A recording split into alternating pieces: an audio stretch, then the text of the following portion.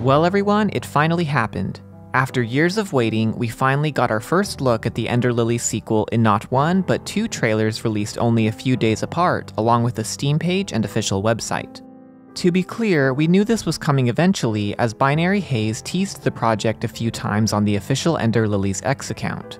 First, with this cryptic message in 2022 promising an Ender Lilies next project, and then with this post in 2023 likewise referring to the future of the Ender Lilies project. But we really didn't know what to expect, whether it would be a sequel, a prequel, or even if it would be in the same genre.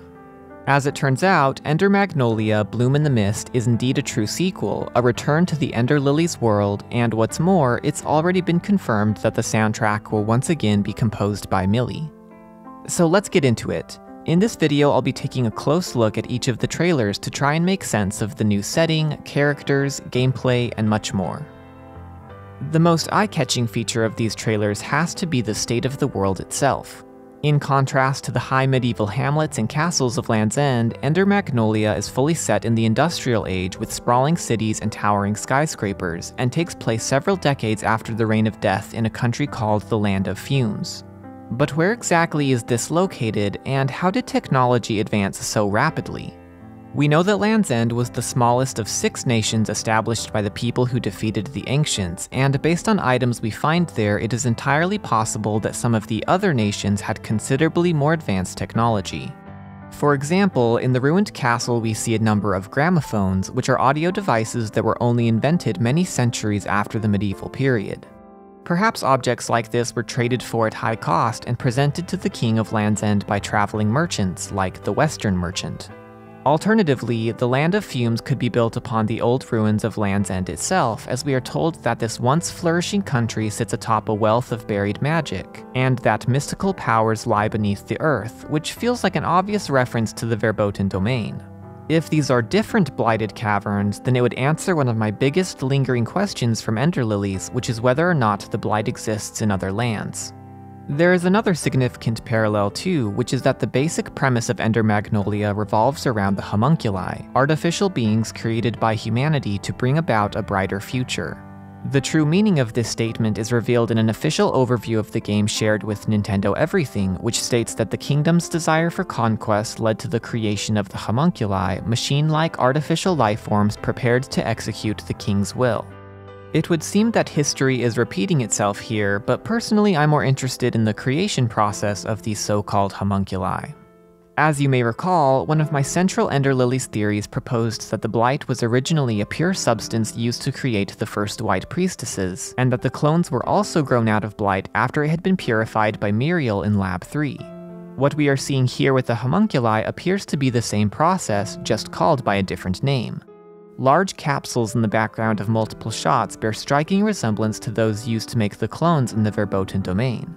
So does that mean the lilies were in fact homunculi? Well, maybe, but there is a key difference between these two groups. While the priestesses were the only ones immune to the Blight's corruption, the homunculi seen in the trailers appear to be the ones most vulnerable to it. For something went terribly wrong. A line in the aforementioned overview states that a recent resource harvesting mission gone awry caused toxic vapors to emerge from underground, driving both man and machine to feral madness, and the reason for these vapors was that the magic buried beneath the surface became corrupted. It is implied in Ender Lilies that the Blight of the Ancients might have been corrupted by hate, so could that be the case here as well? Or was it something else? Regardless, the citizens fled upward to escape its reach, but those who lacked power and wealth remained abandoned below. It would appear that these wealthy citizens found their way to the glowing capital at the very peak of the city, surrounded by four towers bearing radiant cross-like symbols. These are probably providing protection from the blighted smoke below, and I think the choice of symbol is significant. This is not the four-star symbol of the Ancients. In fact, that symbol doesn't show up anywhere in the trailers at all, which lends credence to the possibility that the Land of Fumes may be far away from the old kingdom of the Ancients. Instead, there is a new symbol that shows up multiple times, a diamond with a curious pattern within that looks vaguely like magnolia flower petals. It's hard to say what it might represent at this point, though it is shown to be instrumental in the creation of homunculi. To the developer's credit, even though this world looks very different than the one we're used to, everything shown is narratively and thematically consistent with the events of Ender Lilies. A kingdom who chooses conquest to their own destruction, a race of artificial humans, and magical caverns extending under the land that corrupt all they touch. Make no mistake, this subterranean grotto is filled with blight, but instead of spreading itself through rain via fungal sporocarps, it now spreads through mist. Still tiny particles of water, just distributed differently, and it will be interesting to see how this all began. After coming to grips with the new setting, the second most notable feature of these trailers is the cast of characters. First off, we have a brand new protagonist, Lilac. A curious choice of name being only two letters away from Lily and she appears quite similar to Lily in many ways. The white hair, the soft glow, both of which raise the question as to whether this might be Lily's descendant. Though impossible to say for sure, I think it's pretty likely. After all, Lily does appear to leave Land's End and go somewhere else, and it might as well be here. Furthermore, Lilac seems to have a connection to the White Priestess line in that she is able to summon spirits, an ability that only priestesses possess as far as we know. This is further supported by information found on the Steam page, which reveals that Lilac is an attuner with the power to save those infected by the fumes. Since only white priestesses can purify blight, and Lily was the last priestess, Lilac has to be her relation, right? Well, not necessarily, because there are a few other details to consider here. Importantly, purification looks different in the trailers. When Lilac purifies the remaining experiment, she doesn't physically touch her, and the blue light emitted appears more like the Aegis Curio's restoration than it does Lily's purifying of the Knights. I think what's happening here is that Lilac is purifying with the aid of a special device, her blue earring. It's the same color as the Aegis Curio, and one of the remaining citizens mentions the existence of magical implements that ward off blight. It makes sense that as technology developed, people would find new ways to control the blight, and perhaps they even figured out how to hold the substance within physical vessels and effectively bypass the need to draw it into oneself. These new devices would have power far beyond that of the Aegis Curio, and may have even been based on its design if Lily did in fact come to this kingdom. This explanation also makes sense of the fact that the spirits Lilac summons are blue, not red, and likewise vanish in a shimmer of blue sparks. Of course, it's also possible for both of these to be true. Lilac could be a white priestess of Lily's bloodline and also be aided by powerful new technology. As for whether we'll see Lily herself, I'm not sure. While I think Ender Lilies gave her character great closure with ending C, it would be great to see her again in some form, or at the very least learn what she did after leaving Land's End. While it's evident that Lilac is similar to Lily in many ways, there are also some big differences between the two, for one, she actually talks. Lily didn't talk because she was essentially a newborn, but clearly that is not the case for Lilac, and her very official looking uniform suggests she is already quite capable and has experienced a great many things in the city already. Like perhaps playing a role in the creation of the homunculi. The first homunculus woman she comes across says she seems familiar, and in this shot of the creation process, we see a human girl with the same haircut as Lilac. We also learned that she was separated from her companions, other attuners, or perhaps scientists. On that note, let's talk about the homunculi. The first trailer states that Lilac will reluctantly bond with and journey alongside a homunculus who played a pivotal role in the country's demise, and this is clearly shown to be the veiled woman discovered at the very beginning of the game. We don't know her name yet, but she's obviously very important and positioned to be the equivalent of the Umbral Knight as Lilac's primary companion. The other prominent homunculi in the trailers is the remaining experiment, a young girl with a metal fist who appears to have been newly created before being corrupted, at least if her white gown is anything to go by. The rest of the homunculi only show up very briefly, so we'll have to wait and see what their stories are. In addition to these characters, the Land of Fumes contains a number of living humans as well in yet another departure from Ender Lilies. We meet several in the trailers, including an old woman, a young man, and a blacksmith, and there are surely many more in the higher parts of the city that we will get to know over the course of Lilac's journey. Moving away from these story elements for a bit, let's talk about the gameplay and other technical features since there are some pretty big changes here. First, I'm so happy to see a return of the same combat system, as the combat in Ender Lilies is arguably my favorite of any Metroidvania. It looks like the core of combat is the same, Defeated enemies become loyal to Lilac and can be summoned to fight for her, but this time there are four slots instead of three.